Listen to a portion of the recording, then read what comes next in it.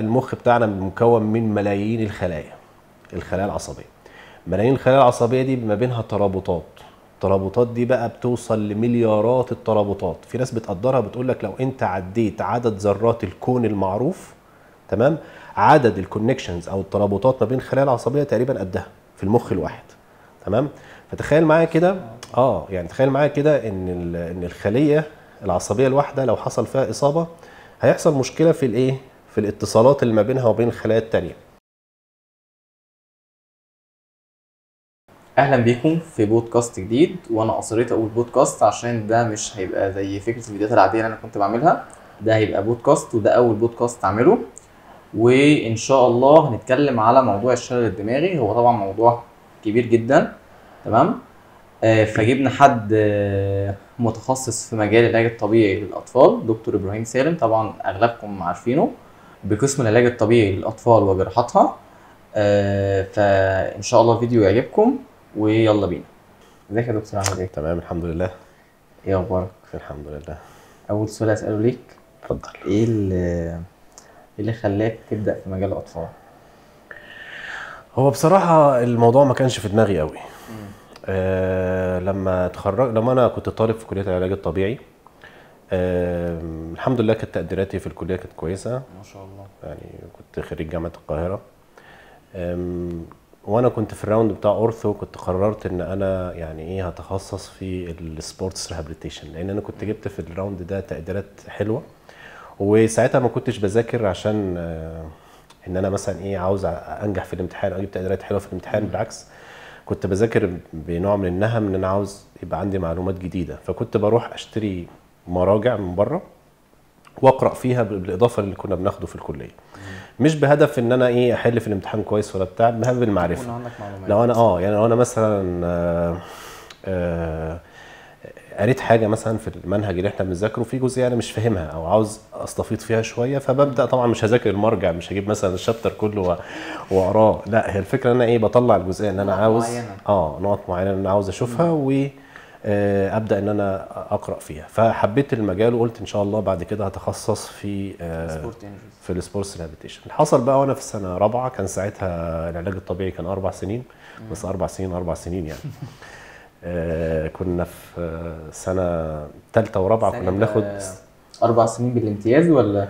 أربع سنين بدون بغير الامتياز. يعني كان خمسة؟ آه بالظبط. بس السنوات الدراسية كانت سنة ثالثه كانت ثلاث ترمات 3 semesters فكنا بقى إيه يعني بناخد الصيف ترم كامل يعني وبندرسه يعني. فالدراسة كانت كاملة يعني ثلاث شهور كل ترم وكان ما بينهم آه، أسبوعين بس الاجازه المهم جيت بقى في سنة رابعة في الترم الأولاني طبعا درست بدأت بالأطفال pediatrics اللي شدني وجذبني للمجال آه، بصراحة يعني آه، كان دكتور كمال شكري.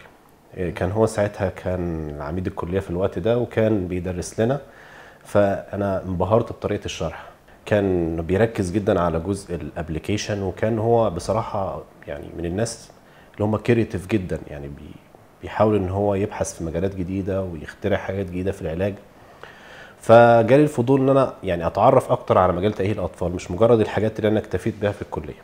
فطبعا استاذنته وقلت له ممكن بس أجي أتف... يعني أتدرب أو أجي أتفرج على الحاجات اللي عند حضرتك في العيادة. طبعا هو سمح لي بكده وبدأت إن أنا آه، أشوف ال ال treatment tools اللي عنده وال rehabilitation programs انبهرت بطريقة ال assessment وطريقة اللي هي كلها detailed assessment حاجات آه، يعني أكتر بكتير من اللي إحنا بناخده في الكلية.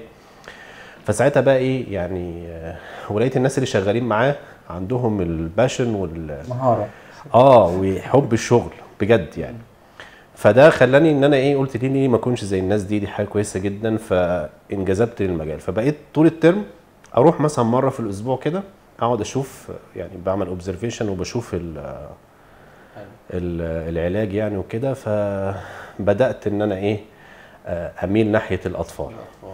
فبعد ما اتخرجت على طول أو تقريبا في الترم الأخير كان semester كنا بنسميه يعني يعتبر زي مراجعة على كل الأقسام ال clinical يعني ساعتها في الوقت ده.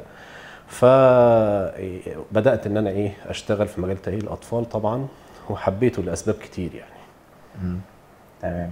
تاني سؤال إيه أكتر الحالات أو إيه أكتر حالة أنت شفتها عامة في الشغل بتاع الأطفال؟ طبعا إحنا بنشوف حالات كتير في مجال تأهيل الأطفال. آم، في اعتقاد سائد عن المجالات التانية غير العلاج الطبيعي يعني يعني اللي هم الأطباء يعني تخصصات الأعصاب والعظام إن العلاج الطبيعي للأطفال هو بنعالج أطفال ال CP فقط يعني. آه. لكن هي الحقيقة هي آه صحيح في نسبة كبيرة من الحالات هم حالات اللي هم ال- الشلل الدماغي. آه، في نسبة كبيرة من حالات الشلل الدماغي لكن إحنا فعلا بنتعامل مع آه، ما دي من الحاجات برضو اللي حببتني في المجال إن إحنا بنتعامل مع diagnosis مختلفة. حالات بقى مشاكلها neurological orthopedic problems حالات genetic حالات congenital حالات حتى psychomotor disorders فاللي هي الحالات ال- المشاكل في العظام مشاكل في الأعصاب. تمام؟ آه، مشاكل جينية مشاكل عيوب خلقية. فبقيت بقى إيه يعني هو تحس إن هو مجال جامع. تمام؟ آه، تبقى فاهم آه، ميكانيكا حيوية تبقى فاهم تشريح جسم الإنسان تبقى فاهم اللي هو. وكل الكلام ده الأعصاب يعني وكده عشان آه وتطبق الكلام ده.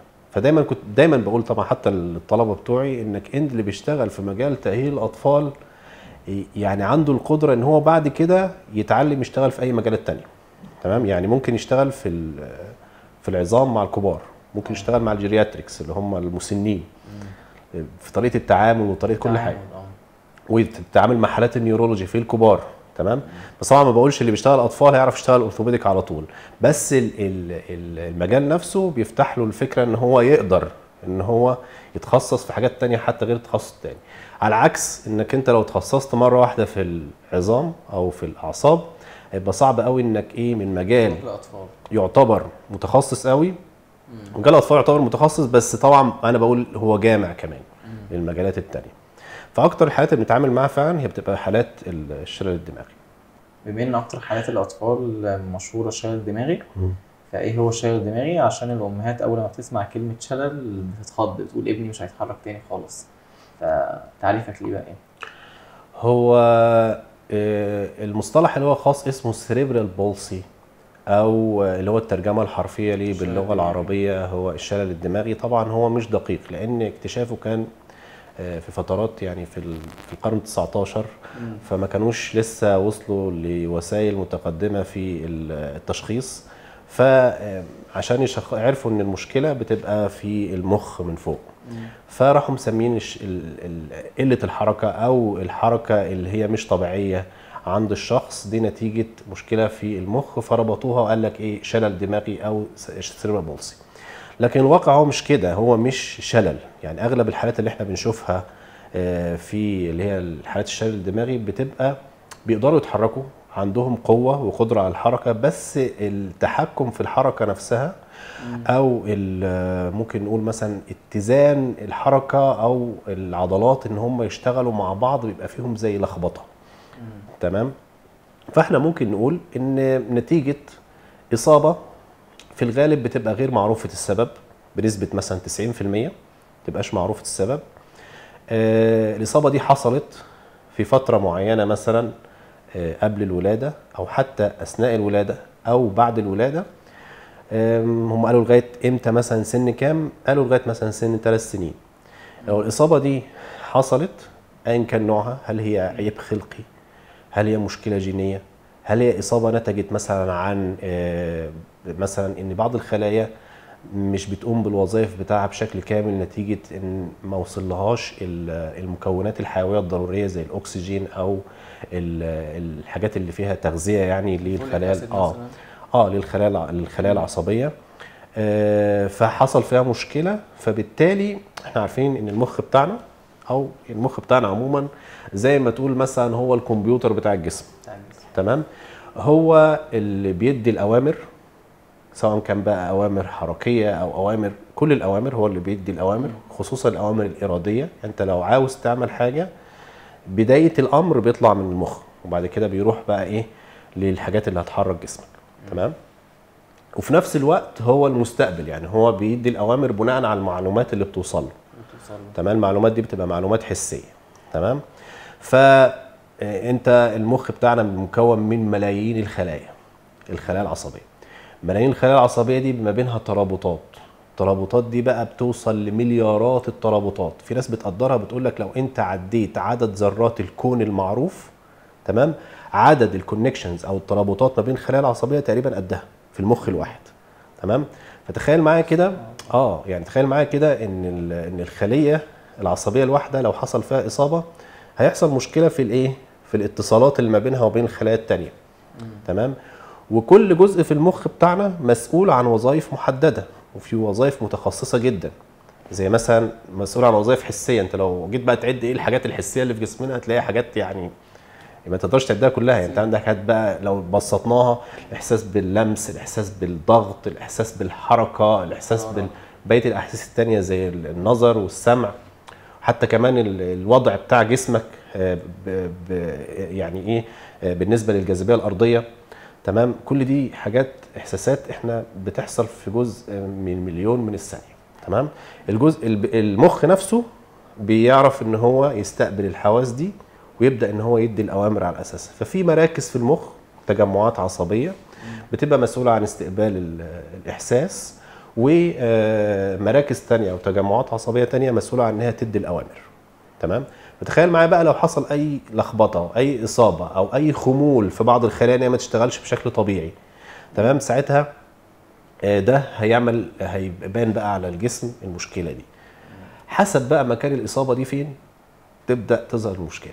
وحسب كمان إيه يعني عاوز أقول لك ال- يعني مدى الإصابة نفسها. يعني لو خدت أكتر من مركز أو مراكز كتير في مراكز على فكرة مسؤوله عن التفكير في مراكز مسؤولة عن ال- النظر وفي مراكز مسؤولة عن الوظائف الذهنية. وعد بقى الوظائف الذهنية الذاكرة والتركيز والانتباه. فمش بس بتأثر على الحركة بتأثر على حاجات تانية. فعلى حسب بقى مكان الإصابة فين بالظبط في المخ تبدأ بعض الوظائف تتأثر. حتى كمان يعني مش عاوز أقول لك إن لو اتصاب بالناحيه اليمين أكتر من الناحية الشمال فتبدأ تظهر المشاكل إيه؟ على الناحية الشمال أكتر من الناحية اليمين وهكذا. تمام. في السؤال اللي أنا سألته. تمام. بس حضرتك تفرعت. فيه جامد اللي هو السؤال إن الأم أول ما بتسمع إن ابنها أو بنتها عندها شلل دماغي تفتكر خلاص إن هو ده شلل؟ ابنها مش هيتحرك تاني. ف... آه ما أنا زي ما وضحت لك يا دكتور مازن إن ال- ال- الترجمة الحرفية نفسها كانت خاطئة شوية. مش معنى إن الطفل اتشخص إن هو عنده شلل دماغي أو حتى بعض التشخيصات يقول لك إيه نقص في المادة البيضاء. تمام يعني كلمة نقص في المادة البيضاء المقصود بيها أصلا المخ بتاعنا عبارة عن يعني بيصنفوها لمادتين المادة البيضاء والمادة اللي هي الرمادية. المادة الرمادية هي المراكز الأساسية. المادة البيضاء هي ال- يعني آه، ال- الاتصالات اللي بتتبعت للايه لبقية الحركة. حسب بقى الإصابة هل هي في المادة الرمادية ولا في المادة البيضاء. تمام؟ الاثنين بيعتبر ضمور في المخ. تمام؟ إحنا ممكن نقول يعني ضمور في المخ هي الترجمة الحرفية الأقرب شوية للتشخيص الحالي. تمام؟ آه الأطفال بقى عندهم مشاكل. تمام؟ والمشاكل دي بتتراوح يعني مشاكل كبيرة ومشاكل بتبقى بسيطة. تمام؟ والمشاكل دي نفسها يعني الأعراض اللي بتظهر على الجسم بيبقى ليها علاج تمام؟ يعني الطفل لو هو آه، خد علاجات من تخصصات مختلفة آه، حالته بتتحسن آه، مش بتتدهور يعني. إلا بقى لو الطفل تم إهماله بشكل كامل والإصابة كانت كبيرة شوية ده بيخلي ال- الموضوع صعب وما بيحصلش التحسن المطلوب. لكن عاوز بس أشير إلى نقطة مهمة جدا إن ال- إن ضمور المخ أو اللي هو الترجمه اللي هي الشلل الدماغي مكان الإصابة مجرد إن هي حصلت في مرحلة ما قلنا اللي هي مثلا أثناء مثلا تكوين الجنين أو أثناء الولادة أو أو بعد ال- الولادة لمدة. ثلاث سنين خلاص يعني هي الإصابة دي بتفضل زي ما هي مش بتكبر. مكان الإصابة في المخ مش بتكبر. طيب بس بقية المخ إيه؟ شغال. شغال. تمام؟ إحنا بطبيعة جسمنا يعني سبحان الله ربنا خلقنا إن إحنا دايما دايما بيحصل تطور في حياتنا. من أول ما بنتولد لغاية آخر عمرنا. تمام؟ كل حاجة لازم تتطور. فإحنا دايما بنكتسب مهارات. لما اتولدنا طبعا ما كناش بنعرف إن إحنا نقعد ما بنعرفش نقف ما بنعرفش نمشي. إيه اللي بيحصل؟ المخ بتاعنا نفسه بيتأقلم ويبدأ يحصل يكون زي ما قلت لك كده اتصالات جديدة بينها وبين بعض فيبدأ يكون زي ذاكرة. الذاكرة دي كل ذاكرة بتشيل آه، مهارة أو skill المهارة دي بيتم اكتسابها عن طريق آه، التكرار التجربة ال- ال- تصحيح الخطأ يعني يغلط ويصحح الخطأ يغلط ويصحح الخطأ فيكتسب خبرة إن المفروض إن هو ما يغلطش في الجزئية دي. فيبدأ بعد كده المخ آه، تلقائيا أو أوتوماتيك يشتغل لوحده. تمام؟ لغاية طبعا لغاية مثلا ما نتعلم القراية والكتابة. نتعلم الكلام نتعلم مثلا مهارة جديدة في حد بيبقى ماهر في حرفة معينة غيره ما بقاش ماهر فيها. وده بسبب مش مجرد اللي هي الموهبة لا بسبب برضو جزء أكتر من الموهبة هو الممارسة. ممارسة الحاجة وتكرارها بيخلي المخ بتاعنا يعمل ترابطات واتصالات جديدة فتبدأ المهارة دي إيه؟ تظهر عند الشخص ده. من مهارة بسيطة لمهارة معقدة زي مثلا اللي هم اللي هم الرياضيين مثلا أو اللي بيلعبوا مثلا كورة على عكس على عكس أي شخص طبيعي عادي. تمام؟ هو بيكتسب المهارة دي بالممارسة المستمرة فجسمه نفسه مع دماغه بيتأقلم عليها. فتخيل بقى شخص مصاب وعنده إصابة معينة. تمام؟ إحنا جينا بعد كده دربناه على مهارة معينة باستمرار هيبدأ الجزء اللي هو كان فقده المهارة دي. صحيح الجزء في البرين ده آه يعني فيه مشكلة ولكن مع الوقت بيبدأ التحكم بتاعه يزيد بيكتسب مهارات تانية تساعده إن هو يكون معتمد على نفسه ويتغلب على المشكلة أو الإعاقة اللي عنده. فعشان كده لازم نقول يعني يعني ما نقولش مثلا نفقد الأمل لا بالعكس أغلب بنسبة كبيرة جدا كل حالات الشلل الدماغي اللي هي بيتم متابعتها والاهتمام بيها وعلاجها بفضل الله يعني بيحصل تحسن مع الوقت ولكن الموضوع طبعا بيحتاج وقت. أنا بقول لك إن اكتساب المهارة نفسها أي مهارة في حياتك بتاخد وقت على ما تتعلمها. نفس الفكرة لو في إصابة وفقدت وظيفة معينة وإحنا عاوزين على قد ما نقدر نخلي الشخص ده أو الطفل ده يستعيد المهارة دي فبنحتاج وقت. تعليم أو اسمه التعليم الحركي أو الموتور ليرنينج. تمام. يعني بقى سؤال أسأله. اللي هو الأسباب اللي بتؤدي للشلل الدماغي طبعا غير السبب المشهور اللي هو نقص الأكسجين. في أسباب تانية برضو ممكن نوعي الناس بيها وكده. تمام. هو أنا عاوز أقول لك إن آه، كلمة أسباب الناس حصل خلط عن- عند الناس ما بين حاجة اسمها أسباب المرض ومؤشرات اللي بتؤدي لظهور المرض أو خطورة المرض نفسه أو المؤشرات اللي تقول إن المرض ده ممكن يحصل. في فرق. تمام؟ انتشر عند الناس إن من ضمن أسباب يعني هو أبسط سبب لحدوث الشلل الدماغي إن في مرحلة ما بيحصل نقص للأكسجين سواء مثلا الدم اللي هو بيوصل لخلايا المخ اللي بتحتاج للتغذية وبتحتاج لاكسجين ما كانش كافي فحصل الخلايا ماتت أو حصل فيها ضمور نتيجة النقص الأكسجين ده فده تفسير إن هو ممكن يؤدي بعد كده للشلل الدماغي بس أنا عاوز أقول لك إن ده يعني نسبة الحالات اللي عندها شلل دماغي نتيجة آه، نقص الأكسجين أو ال hypoxia طبعا في أسباب كتير بتؤدي لنقص الأكسجين. آه، نسبتها لا تتعدى 10% من حالات الشلل الدماغي اللي إحنا بنشوفها. طيب بقيه ال 90% سببها إيه؟ سببها كل الكتب وكل المراجع بتقول لك غير معروف السبب. تمام؟ طب هو البرين ده يعني أو أو المخ ده حصل فيه ضمور ليه؟ يعني إيه السبب؟ في تفسيرات في بعض التفسيرات. قال لك من ضمن التفسيرات دي إن هو تكوين الجنين نفسه. آه، تركيبة المخ نفسها وهي بتتكون حصل فيه مشكلة وحصل لخبطة غير معروف السبب فالمشكلة دي أدت للضمور. ده تفسير. في تفسيرات تانية بترجعها للجينات أو للوراثة. تمام؟ فيعني السبب الأساسي للشلل الدماغي بشكل عام غير معروف. ولكن في حاجات زي ما قلت لك اسمها مؤشرات تؤدي إلى يعني إحنا نقول الطفل ده لو حصل له الحاجات دي يبقى في الغالب دي سببها بسبب الشلل الدماغي اللي عنده بسبب ضمور المخ اللي عنده. تمام؟ زي إيه مثلا؟ زي إيه مثلا؟ آه لو حصل مثلا تعثر في الولادة. في ناس بتعتقد تعثر الولادة هي اللي سببت الشلل الدماغي. آه. لا أنا عاوز أقول لك إن الشلل الدماغي هو اللي أدى لتعثر الولادة. تمام؟ إزاي؟ يعني الطفل الطبيعي أصلا لما بيتولد حتى بشكل طبيعي بيبقى في عنده يعني ردود الأفعال بتاعته بيساعد مامته أثناء ال- الولادة الطبيعية. لو الطفل ده عنده مشكلة فردود الأفعال اللي عنده هتبقى ضعيفة تمام؟ فبالتالي يعني آه، آه، أثناء عملية الولادة نفسها الولادة الطبيعية يعني مش بيتفاعل بشكل طبيعي أثناء الولادة فبيحصل إيه؟ اللي هو تعثر الولادة. فلو إحنا شفنا طفل حصل عنده تعثر ولادة فبنقول بسبب غالبا هيبقى عنده إيه؟ شلل دماغي. لكن إيه، مش معنى كده إن تعثر الولادة هو اللي أدى للإيه؟ للشلل الدماغي لكن لو حصل إصابة أثناء الولادة آه يعني حصل إصابة للمخ مثلا كان زمان كان بيستخدموا بعض الوسائل زي بيسموه اللي هو الملقاط أو ال- ال forceps مثلا كان ممكن يعمل إصابة في المخ آه، أو في الشفاط اللي هو ال suction. كان ده ممكن يعمل بعض الإصابات في الدماغ يعني فيؤدي للشلل الدماغي. ده آه ممكن أقول لك عليه. تمام؟ حاجات تانية مثلا يقول لك الأم اللي جالها سخونية وهي كانت حامل وخدت مضاد حيوي. ما نقدرش نجزم إن المضاد الحيوي هيعمل مشكلة. آه. لكن هم لقوا مثلا لما عملوا أبحاث لقوا إن في نسبة عالية كبيرة من الأمهات اللي اخذوا آه، أدوية زي المضادات الحيوي أو آه، حصلت لهم آه، حمى أثناء الحمل. في نسبة كبيرة منهم لقينا الأطفال بتوعهم بيبقوا إيه عرضة إنه يبقى عندهم شلل دماغي. ولكن ما نقدرش نقول إن أي واحدة يحصل لها حمى أثناء الحمل هي ابنها هيبقى فيه مشكلة.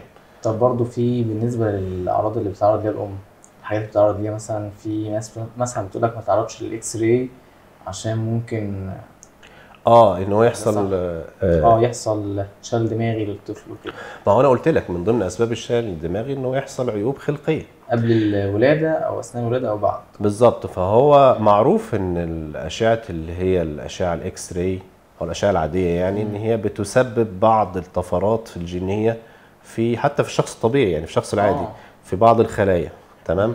فأنا قلت لك أساسا من ضمن أسباب الشلل الدماغي إن يحصل مشكلة جينية أو مشكلة في التخليق. طب بالنسبة عيب خلقي. بقى. فده ممكن بنسميه risk factor أو مؤشر خطورة. بالنسبة ان إحنا دخلنا في الجينات. أغلب الأمهات اللي مثلا بيكون عندها أول طفل شلل دماغي بيقرروا مثلا أو بيخافوا إن هم يخلفوا تاني عشان ممكن ابنهم التاني يحصل لهم ش... يعني يحصل له شلل دماغي وكده.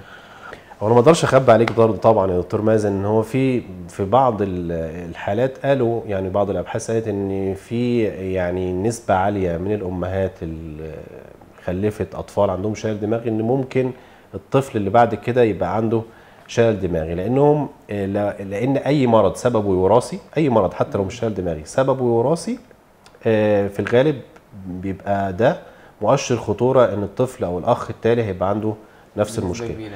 فلو كان سبب من أسباب الشلل الدماغي سبب وراثي فممكن يؤدي لكده. بس أنا بصراحة يعني آه، مش شايف إن ده يبقى يعني يعني حاجة يعني أو سبب أساسي أو رئيسي إن يمنع إن الأم إن هي تجيب طفل تاني. بالعكس أنا بنصح ال- الأمهات اللي بيشتغلوا معايا يعني إن الطفل اللي عنده مشكلة شلل دماغي لما يبقى ليه أخ تاني ده بيساعده شوية بيخليه معتمد على نفسه بيزود آه، فرصة التواصل مع اللي حواليه. المشكلة عند الطفل الطفل ما بيتحركش اللي هو اللي عنده مشكلة شلل دماغي فده بيؤدي مع مع التاخر الحركي يبقى عنده تأخر ذهني ومشاكل في التواصل.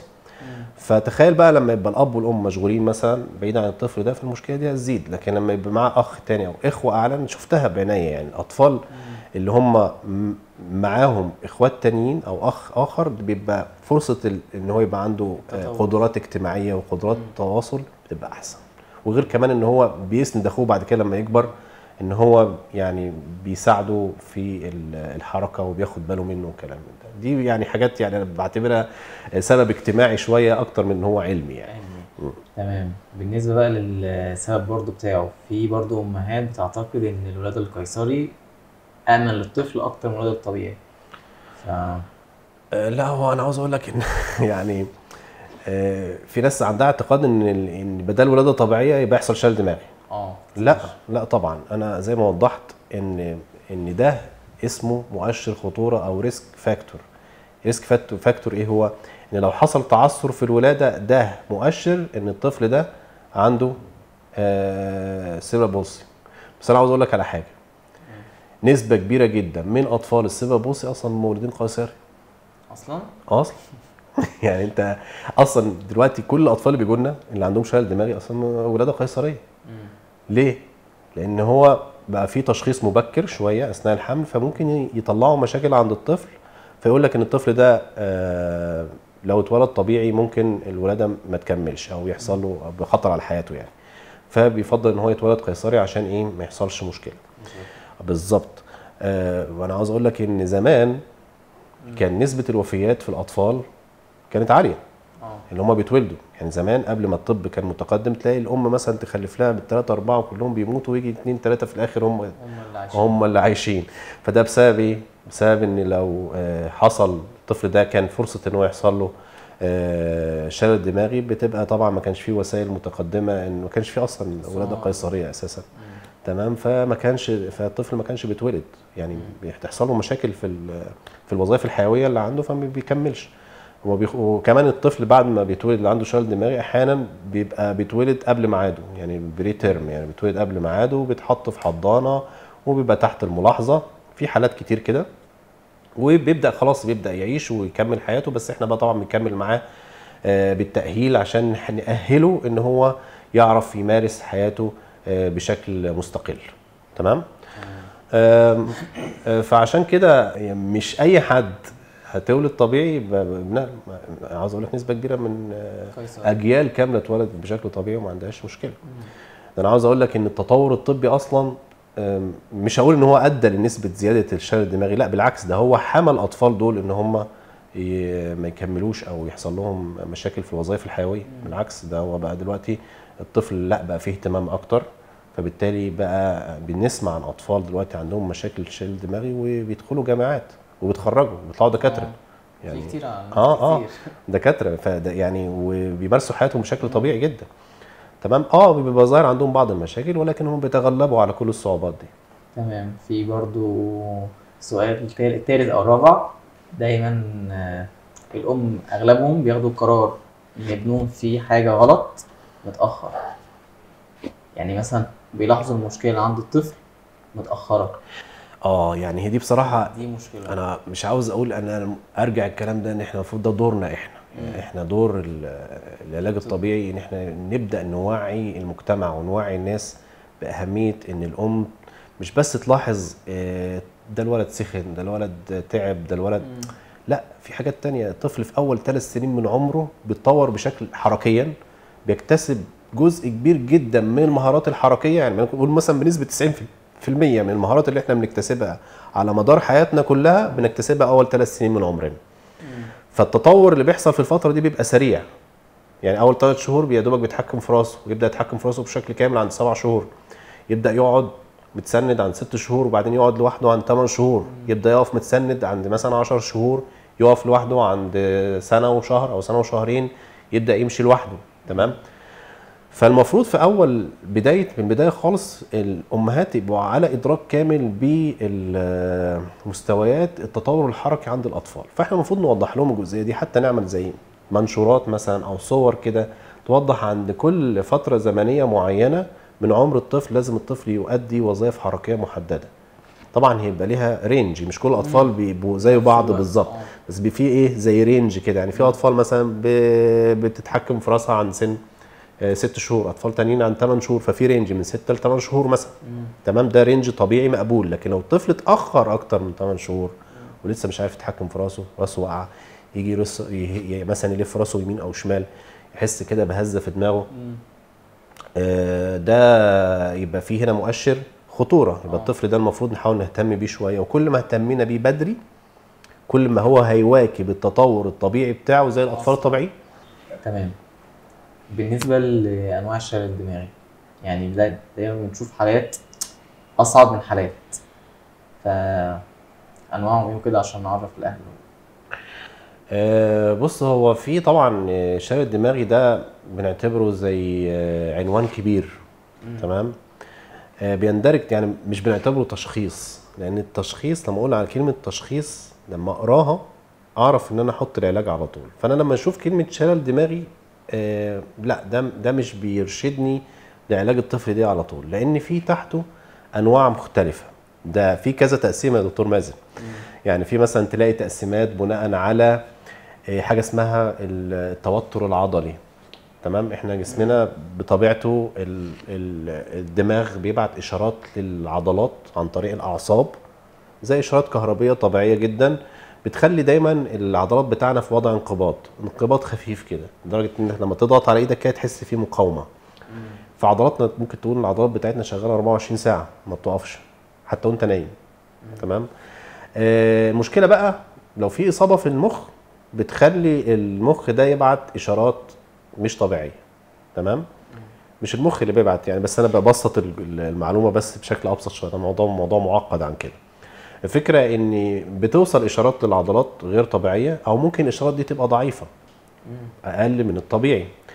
فبيقول لك التوتر العضلي الطبيعي بقى أعلى من من الطبيعي. تمام؟ أو أقل من الطبيعي. hypertonia أو hypotonia. تمام؟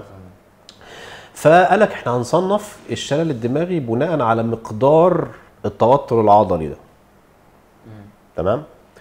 لو آه، التوتر العضلي زايد هنقول عليه إن هو آه، زيادة في التوتر العضلي أو زيادة في التوتر العصبي ايا كان بقى الترجمة باللغة العربية اللي هي هايبرتونيا لو التوتر العصبي ده أقل شوية يعني اشاره رايح العضلات ضعيفة تمام؟ آه ساعتها بيسموه ضعف في التوتر العصبي أو بيسموه طبعا الطفل اللي هو اللي هو المرتخي. مرتخي بيبقى آه في طفل بيبقى شادد عنده شد زيادة في بعض العضلات والطفل التاني بيبقى إيه؟ مرتخي. مرتخي. آه في نوع برضو قال لك تالت إن إحنا ممكن نصنفه برضو في بعض الأطفال بتلاقي التوتر العضلي بيزيد أحيانا وبيقل أحيانا وبيوصل للطبيعي أحيانا تاني. يعني ما بيفضلش ثابت على وضع معين. بيتحول.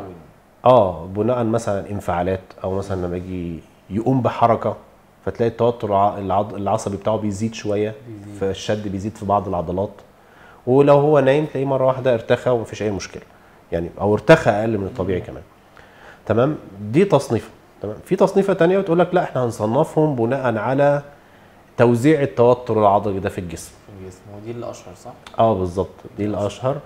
آه يعني مثلا إيه؟ لو التوتر العضلي موجود في الأربع أطراف زايد تمام؟ آه بيقول لك هنسميه آه شلل آه شلل دماغي رباعي رباعي الأطراف يعني تمام؟ لو التوتر العصبي ده موجود برضو في الأربع أطراف ولكن في الطرفين السفليين أعلى من الطرفين العلويين آه، ساعتها بنسميه آه، اللي هو الشلل الدماغي النصفي التشنجي السفلي. تمام؟ في بعض الحالات بتبقى التوتر العصبي زايد على الناحية اليمين أكتر من الناحية الشمال. يعني مثلا إيه؟ الدراع اليمين أكتر من الدراع الشمال والرجل اليمين أكتر من الرجل الشمال.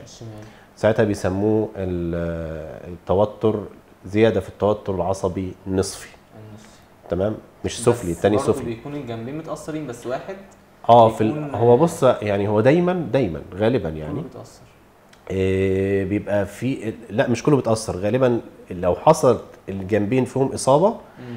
لازم هتلاقي في جنب متأثر أكتر من التاني. مش هتلاقي الاثنين زي بعض بالظبط. لأن الإصابة بتحصل في المخ. آه. لو خدت جنب واحد هتأثر على الجنب الجنب واحد. مم. طب لو خدت جنبين هي مش هتيجي بقى متسنطرة بالنص بالظبط. لأن عدد الخلايا بقول لك ملايين الخلايا. أنت متخيل؟ فاي لمسة هنا. فمش هتبقى بالظبط.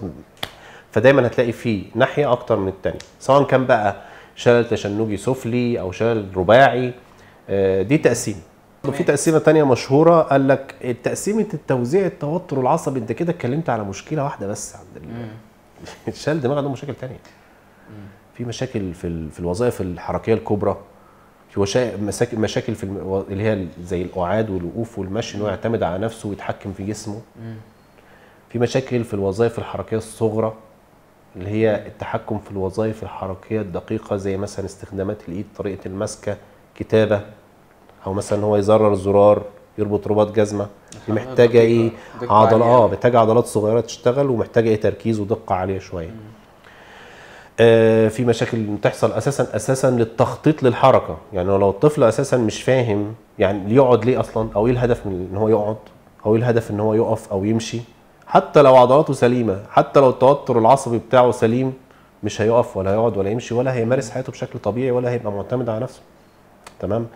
فقال لك لا تعالى بقى نصنفها تصنيفة تانية خالص تظهر لنا المشاكل دي اللي هي بناء على آه، القدرات الحركية. خلاص؟ فقال لك الأس... الحاجات اللي واضحة قوي اللي هي القدرات الحركية الكبرى.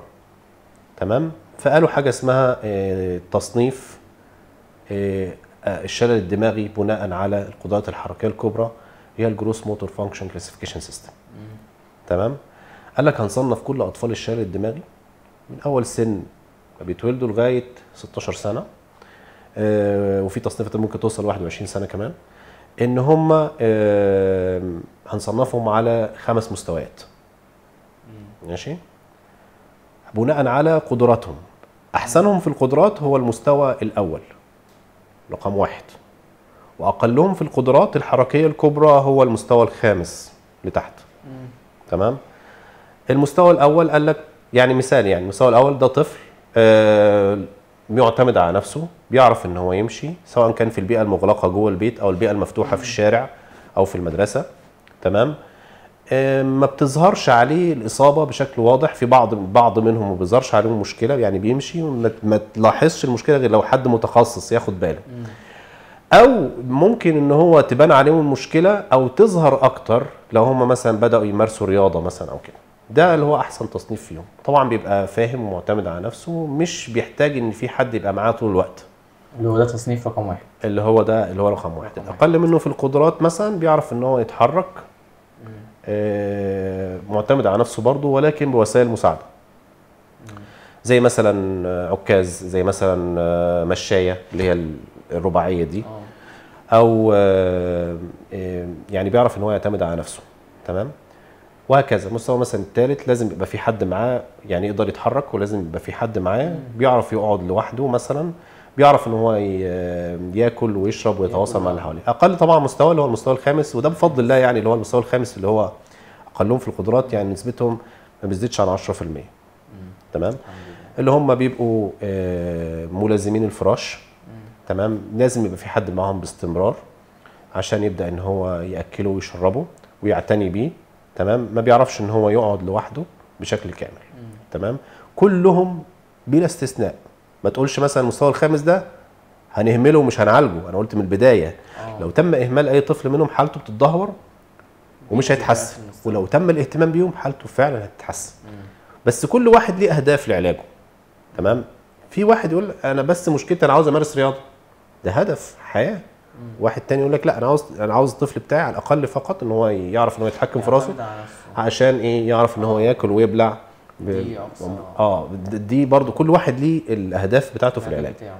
يعني أنا الحمد لله اتعلمت في مهنتي ومن اساتذتي إن أنت لو شايف إن في فرصة أو أي أمل لعلاج طفل ما تقولش لأ في أنا عاوز أقول برضو إن إحنا مش هدفنا في العلاج أساسا إن أنا اوصل الأطفال دول إن هم يبقوا طبيعيين لأ تمام أنا هدفي الأساسي إن أنا أخلي الطفل ده معتمد على نفسه يعتمد على نفسه.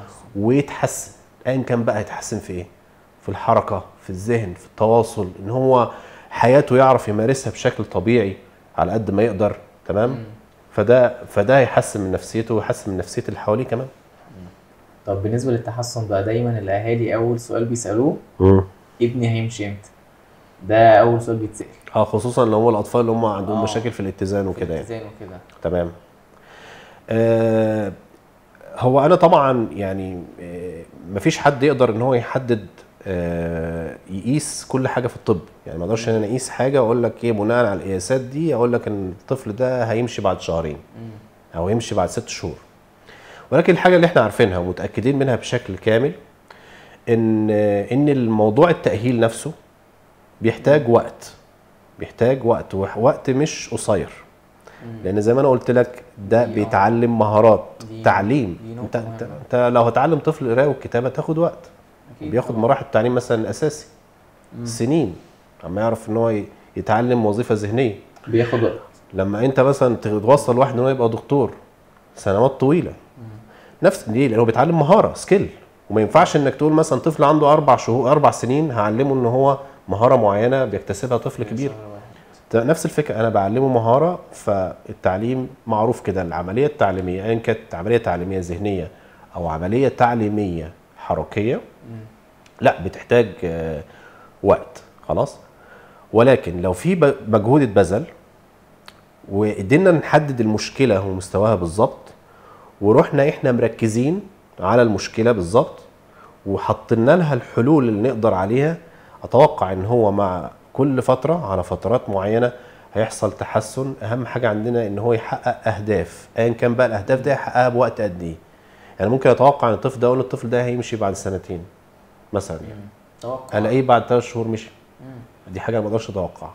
ما أقدرش إن أنا أتوقعها بالظبط ما أقدرش. أحددها بالظبط الطفل الثاني أقول ده هيمشي بعد ست شهور ألاقيه مشي بعد سنتين أو ثلاثة ولكن في النهاية في النهاية الأهداف دي إحنا بن بنحددها لما نيجي نقيم حالة الطفل. بعد ما نحدد الأهداف دي قلنا إحنا في خلال ثلاث شهور المفروض نوصل للأهداف دي. ما تبقاش هدف إن أنا أقول لا الطفل ده يبقى طبيعي يبقى زي الفل. لا في أهداف معينة. إن أنا مثلا إيه عضلات معينة تبقى أقوى من الأول. مجال الحركة يتحسن مثلا في الركبة. آه الاتزان أثناء القعدة يبقى أفضل. الطفل يعرف يقف وهو ساند بدل ما هو بيعرفش يقف خالص. آه. تمام؟ هكذا. حقق بعض الأهداف بنعيد تقييم حالة الطفل مرة تانية. حقق بعض الأهداف نبدأ بعد كده نحط أهداف جديدة. والأهداف اللي لسه ما حققهاش نستمر وما نيأسش ونستمر في في علاجها على قد ما نقدر. طبعا هو دكتور العلاج الطبيعي للأطفال بيتميز بالصبر. أهم حاجة الصبر. بالظبط. تمام. في حاجة كنت عايز أكلمك فيها. في مقولة قريتها في بعض الكتب بتقول إن لو الطفل قعد عند عمر السنتين أو قبل السنتين بنسبة 90% إن هو هيمشي. دي آه. إيه المقولة دي؟ صح ولا؟ هو بص هو أنا يعني بصراحة أي معلومة طبية لازم تبقى بناء أنا دايما كده بحب البحث العلمي بحب الريسيرش. لازم تبقى بناء على آه، أبحاث اتعملت مش بناء على مقولة. فهل آه. المقولة دي بناء على مثلا بحث معمول جابوا مجموعات من الأطفال وقالوا لاحظوا إن الطفل اللي هو بيقعد بيقعد عند سنتين؟ إن هو هيمشي بعد؟ السنتين أو قبل السنتين. بص هو أقول لك على حاجة. هو أنا من خبرتي في التعامل مع الحالات آه لاحظت فعلا الأطفال اللي بيبقى عندهم تحكم في الرأس تحسب تحكم بالرأس وتحكم في الجذع جذع. بيبقى فيه يعني فرصة كبيرة بعد كده إن هم يقدروا إن هم إيه. يمشوا ويبقى معتمدين على نفسهم دي حاجة يعني خدتها بالخبرة لكن. بصراحة المعلومة ال- الأكيدة بتبقى بناء طبعا على بحث وكده. كلينيكي طب حضرتك دلوقتي اتكلمت على المشاكل الحركية ففي مشاكل تانية بتواجه الطفل غير المشاكل الحركية ولا لأ آه المشاكل الحركيه اللي هي زي الوظائف الحركية الكبرى والوظائف الدقيقة اللي الكبرى والصغرى مثلا مشاكل في السمع مشاكل في التخاطب. يعني أغلب الحالات دايما بيبقى عندها مشاكل في التخاطب. فإحنا اتكلمنا على الجزء الحركي أكتر. آه بالظبط. هو أنا كنت في البداية وضحت ان إن المراكز اللي في المخ مش بتبقى مسؤولة عن الحركة بس. فايا كان بقى الإصابة اللي حصلت. هي مش يعني هم بيعتبروها إصابة وبيقول لك برين انسلت مشكلة. خلاص؟ مكانها فين؟ هل هي ضربت المراكز المسؤولة عن الحركة ولا ضربت المراكز المسؤولة عن الإحساس؟ على فكرة جزء كبير جدا من مشاكل الأطفال اللي عندهم شلل دماغي بتبقى مشاكل حسية والناس مش تاخد بالها. تمام؟ الطفل مش عارف يستقبل معلومات بشكل صحيح عشان يبدأ يؤدي الحركة يدي أمر للحركة. يعني أنا مثلا مشاكل حسية. آه يعني مثلا أنا شايف كوباية قدامي. تمام؟ أنا عرفت المسافة اللي ما بين إيدي وما بين الكوباية. فبالتالي هدي أمر للعضلات بقوة معينة إن يحصل فيها انقباض عشان يحصل إيه؟ إيدي تتحرك في اتجاه الكوباية. وفي اتجاه الكوباية يعني أنا آه. شايف اتجاه لأن أنا كلمتك على حاسة واحدة بس. اتجاه ومسافة. بالظبط أنا كلمتك على حاسة واحدة بس اللي هي حاسة. النظر. واست- واستوعبت إن دي كوباية. آه. يعني استوعبت إن دي كوباية لازم يبقى لها وضع معين ما تبقاش مقلوبة. كمان. والكوباية دي بتستخدم للشرب. لازم يبقى فيها سائل ولو أنا مدرك إن أنا عارف إن السائل ده يمكن هو سخن ولا ساقع مجرد النظر من غير ما ألمسه كمان. آه. شايف في بخار بيطلع منه كده يبقى هو سخن. يبقى آخد بالي بقى همسك بقى من المنطقة السخنة ولا المنطقة اللي هي بتبقى باردة شوية. فتخيل بقى لو الطفل أصلا عنده مشاكل حسية إن هو أساسا مش قادر يقدر الحركة هتظهر الحركة غلط. طيب خلي دي على جنب. لو الإصابة أدت لمشاكل ل- ان هي ضربت ال- المراكز اللي مسؤولة عن التفكير مسؤولة مسؤولة عن القدرات الذهنية. تظهر بقى مشاكل. هو مش مدرك إن دي كوباية أصلا. مش مدرك يعني أنت دلوقتي لو أنت بصيت على كوباية مليانة وكوباية فاضية هتبقى عامل حسابك إن دي هتبقى دي تقيلة ودي خفيفة. كلمة. تقيلة وخفيفة دي قدرة ذهنية. تمام؟ طيب دي حاجة. طيب أنا عاوز أقول لك إن لو طفل عنده مشاكل حركية بس يعني المراكز المسؤولة عن القدرات الذهنية والإحساس. ما حص... آه ما حصلش فيها إصابة المشاكل الحركية اللي عنده دي هتؤدي لمشاكل ذهنية. معقولة؟ آه. آه، يعني أنت مثلا إيه آه طفل اتولد تخيل معايا كده سيناريو إن في طفل اتولد ماشي؟ والطفل ده مش بيقدر إن هو يتحرك فنايم طول الوقت على ظهره. استيعابه للبيئة اللي حواليه إيه؟ هو مش شايف غير السقف. طفل تاني لا اتولد وبيعرف إن هو يتقلب على جنبه فهيشوف حاجات تانية اكسبيرينس أو خبرات تانية الطفل ده ما شافهاش. فيعرف مثلا إيه لو شاف حاجة جنبه تمام؟ لو قدر يتقلب أكتر وراح وصل للحاجة دي تمام؟ وبعدين شاف حاجة أبعد فبذل مجهود أكتر في التقليب عشان يوصل للحالة الحاجة الأبعد دي. فأدرك دماغه إن الحاجة اللي أنا بذلت فيها مجهود في الحركة قليل أقرب لي من الحاجة اللي أنا بذلت فيها مجهود الحركه بعيد فعرف إن هو يحدد المسافات مجرد الحركة. يبقى عنده قدرة ذهنية. تخيل بقى معايا بقى لو الحاجة دي في حاجات بتبقى طرية حاجات تبقى ناشفة حاجات إن هو يلمسها بإيده هو بيتحرك رايح لها. أو فبيكتسب خبرات بيكتسب خبرات ذهنية. حاجة ناعمة حاجة خفيفة حاجة تقيلة حاجة كبيرة في الحجم محتاج إن هو يحرك إيديه الاثنين عشان يمسكهم أو يمسكها بإيد واحدة. كل دي مهارات اتعلمها بمجرد إن هو بيعرف يتحرك. عاوز أقول لك الناس اللي هي بتتحرك وبتسافر تمام؟ هو السفر محتاج حركة. بيبقى عندهم خبرات أكتر بكتير من واحد قاعد مقف- مقفول عليه في بيته وما بيتحركش. تمام؟ صح؟ فبخيل بقى ده إيه؟ يعني دي حاجة مثال بسيط.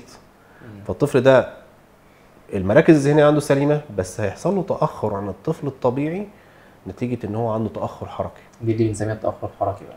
بالظبط. وزي ما أنا شرحت لك برضو قلت لك برضو إن الطفل اللي عنده مشاكل ذهنية لو المراكز المسؤولة عن الحركة سليمة هيحصل له تأخر حركي. لأنه أساسا مش عارف هو يقعد ليه يقف ليه؟ يمشي ليه يروح لاتجاه الحركه دي ليه. مش مدركها ممكن يكون مش شايفها عنده مشاكل حسية كمان. مش شايفها فمش هيتحرك. تمام؟ فهيتاخر حركيا. ويتاخر حركيا في وظيفة معينة هتؤدي آه لتأخر في وظائف تانية أساسا مبنية على الوظيفة دي. يعني مثلا إحنا ما بنعرفش نقف من غير ما نكون بنعرف نتحكم في جذعنا أو بنعرف والراس. نقف. فتخيل هو اتأخر في القعاد هيتأخر في الوقوف وفي المشي. تمام؟ تمام. ففي علاقة آه، ما بين الوظائف التانية والوظائف الحركية. كلهم يعني بالعربي كده كلهم مرتبطين ببعض. عشان برضه برضه عاوز ألفت انتباه- انتباهك يا دكتور مازن إن إحنا مش بنأهل الطفل من الناحية الحركية بس. لو أنت ركزت على تقول في في بعض المراكز التأهيل يقول لك لا لا لا إحنا نهتم بالحركة وبعد كده هيبقى كويس. في من النواحي الذهنية. لا. أنت كده لو اهملت أهملت الجزء كبير جدا هيساعد الطفل إن هو يتحرك. ولو أنت برضه أهملت الحركة وركزت على المشاكل الذهنية. الحركة بالظبط وبعدين المشاكل الذهنية آه، برضو آه، التخاطب أو الكلام دي وظيفة حركية. أنت معايا؟ فمثلا لما الطفل يقول مثلا كلمة شجرة لازم يكون عنده صورة في دماغه بصورة الشجرة دي. أصلا مش عارف ينطق الكلمة ولا يقول الحروف بتاعتها غير لما يكون أساسا مدرك في حاجة اسمها شجرة. في حاجة اسمها شجرة. بالظبط. تمام؟ فإدراكه خلاه يعرف يتحرك إن هو يتكلم. حاليا دلوقتي يا دكتور لما أنت جيت اتكلمت على الشلل الدماغي اتكلمت في تخصص واحد بس اللي هو العلاج الطبيعي. في تخصصات تانية بتساعد معانا ولا لا؟ أكيد أنا أشرت إن مشكلة الطفل الشلل الدماغي مش مشكلة حركية بس وكمان اتكلمت على جزئية إن لو هو عنده مشاكل تانية ده بتسبب مشكلة حركية. فأنا كأني مثلا إيه أنا بنفخ في قربة مخرومة. لو قعدت أعالج الطفل حركيا فقط مدى التطور هيتحسن بس التحسن مش هيبقى زي ما أنا أخلي المجالات التانية تساعدني مع العلاج الطبيعي. تمام؟ دايما حتى أنا عاوز أقول لك إن الدكاترة اللي هم الميديسن يقولوا إن أساس علاج الشلل الدماغي هو العلاج الطبيعي. ودايما اللي هم الدكاترة الكبار يقولوا لنا إحنا بنساعد تمام؟ طبعا بيلهم دور كبير جدا يعني أنا ما أقدرش أنا أقوم بيه. بس هم الهدف دايما بينصحوا الأب والأم يقول لك علاجك هو العلاج الطبيعي مع ال- الحاجات التانية أو التدخلات التانية اللي إحنا بنشتغل عليها. طيب تعال نبص على مشاكل الطفل ده. كل مشكلة بتحتاج تدخل. تمام؟ آه زي مثلا آه لو عنده مشاكل ذهنية. هيحتاج آه آه تخصص مثلا تنمية المهارات أو العلاج التعليم الخاص عشان ننمي المهارات الذهنية اللي عند الطفل ده. زي التركيز والانتباه. تمام؟ عشان التركيز والانتباه وإن هو يفهم الأوامر هيساعدني. في العلاج الطبيعي إن هو ينفذ أوامر حركية. يبقى عارف إيه الهدف من الحركة أصلا. تمام؟ تمام. طيب آه التخاطب. آه التخاطب. التخاطب أصلا وظيفة حركية زي ما قلت لك. لازم الطفل يبقى عنده لغة أصلا بفهم معاني. الكلمات. مم. تمام؟ وربنا بيقول إيه؟ وعلم آدم الأسماء كلها. مم. تمام؟ عشان يعرف إن هو يتعامل. ده ده الأساس إنك تبقى عندك معلومات. فالمعلومات دي اسمها اللغة.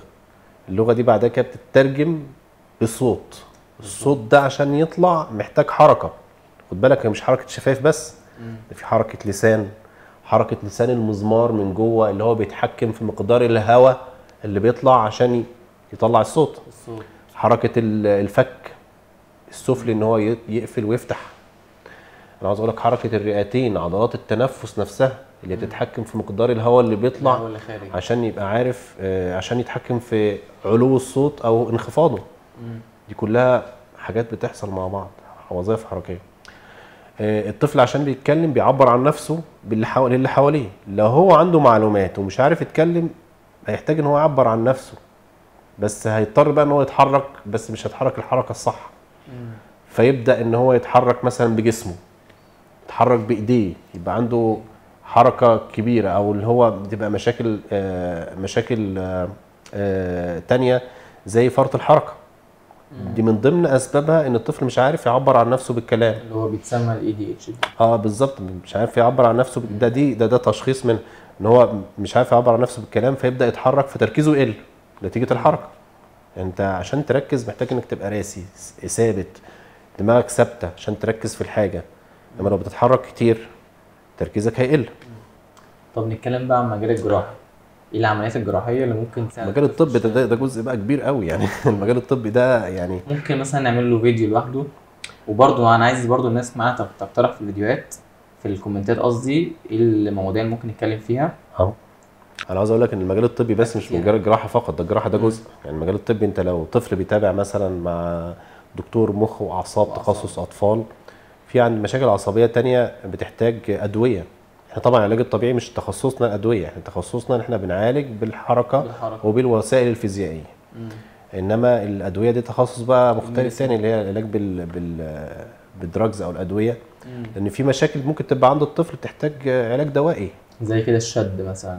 الشد أو التشنجات يعني التشنجات. بعض الأطفال ال CP أو الأطفال اللي هم الشلل الدماغي بيبقى عندهم تشنجات فمحتاج متابعة مع دكتور مخ وأعصاب مم. تمام؟ في كمان جراحة مخ وأعصاب أطفال. تمام؟ في آه، دكاترة العظام. لو الطفل عنده مشاكل تشوهات آه، نتيجة مثلا نقص في بعض المكونات زي ال vitamins أو نقص الكالسيوم محتاج متابعة. وبرضه بيكون عنده مشاكل في الجهاز الهضمي. آه ممكن. آه مشاكل فعلا مشاكل الجهاز الهضمي نتيجة قلة الحركة نفسها بتسبب مشاكل الجهاز الهضمي. ودي كمان ممكن تأثر عليه في الجلسة. آه. مثلا ممكن مثلا بيكون عنده مشكلة في الجهاز الهضمي ففي الجلسة لا مش مش مرتاح. مش مرتاح. شوف انت قلت كلمة. مش مرتاح. آه فبرضه بتأثر على الجلسة بتاعته فبرضه لازم بالظبط. لأن انت آه، آه، المشاكل الجهاز الهضمي فاكر لما كنت بكلمك على موضوع التوتر العصبي؟ ما هو الجهاز الهضمي هضمي أصلا فيه عضلات بتحرك آه. في في الجدران بتاعة الجهاز الهضمي. لو وصل لها إشارة مش طبيعية هيحصل التوترات دي هيحصل التقلصات فيها. تقلصات تمام؟ أنا عاوز أقول لك إن التوتر العصبي ده بيزيد مع الانفعال أو مع الألم أو مع لو الطفل بيعيط.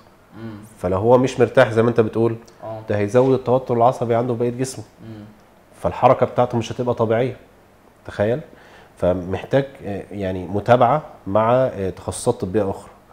بالإضافة إن في برضه تدخلات جراحية. تمام؟ تدخلات جراحية عشان نحاول نقلل الشد ده عشان على قد ما نقدر. أنا عاوز أقول لك إن الحركة الغلط أو يعني الطفل بيتحرك بشكل مش طبيعي في مجال معين وبيهمل مجال تاني بيحصل قصر في بعض الأوتار. آه. التوتر العصبي نفسه اللي كلمتك عن- عنه ده مع الوقت ممكن يؤدي إلى قصر وشد في بعض الأوتار. قصر وشد في بعض الأوتار هيقلل مجال الحركة. يعني مثلا إيه تخيل معايا مثلا أنا بعرف إن أنا أعمل إيدي كده عشان أمسك الأكرة وألفها. تمام؟ لو حصل نتيجة الشد ال- العصبي إن الأوتار بتاعت ايدي دي قصرت؟ مش هعرف إن أنا أفردها مش هعرف أستخدمها. مم. نفس الفكرة لو في اللي هو الأكيليس تندون أو اللي هو عضلة السمانة مثلا. حصل فيها شد هيقلل مجال الحركة في في الكاحل أو الأنكل. مم. فالمشية نفسها هتبوظ مش هتبقى مظبوطة. نتيجة إن الأنكل أصلا أو القدم من تحت ما بتتحركش بشكل سليم. فده آه، ممكن في بعض الحاجات بتنفع مع العلاج الطبيعي أو بعض الوسائل العلاجية في العلاج الطبيعي. لكن في حاجات تانية العلاج الطبيعي بيعجز إن هو آه، يحلها. تمام؟ ففي بعض الأحيان بنلجأ إلى ال- التدخل الجراحي. وفي طبعا أنواع مختلفة جدا من التدخلات الجراحية. بودكاست بعد كده عن آه. الشد. إيه الطرق اللي إحنا ممكن نعالج بيها الشد أو نقلل بيها الشد؟ آه بالظبط. تمام. وبرضه إيه التوقيت المناسب للعملية؟ بالظبط. عشان دي حاجة مهمة جدا. آه بالظبط. موضوع الشلل الدماغي كان موضوع كبير جدا ومتعمق ولسه فيه حاجات كتير إحنا ما اتكلمناش عنها. فبرضه عايزكم سواء آه، اللي بيسمعوني طلاب أو أهالي اكتبوا لي في الكومنتات إيه المواضيع اللي مهتمين بيها أو إيه المواضيع اللي أنتوا يعني مثلا إيه بتلاحظوها مع الأطفال سواء ده ابنك أو سواء مثلا آه، طالب آه، مثلا في الجامعة عايز يستفاد أكتر فاكتبوا لي في الكومنتات. وطبعا في الآخر أحب أشكر دكتور إبراهيم يعني أنا استفدت من البودكاست ده أكتر من اللي هيسمعوني. وفي حاجة تانية عايز أقولها دكتور إبراهيم عنده قناة على اليوتيوب آه هتس يعني اللي هيستفاد منها أكتر الطلاب عشان هيشرح فيها أو بيشرح فيها عامة الحاجات ال- العملية بتاعة ال- الأطفال سواء بقى ال facilitation بتاع ال milestone. وهسيب ال link بتاعها تحت في ال description وكان معاكم دكتور مازن من قناة The Therapist والسلام عليكم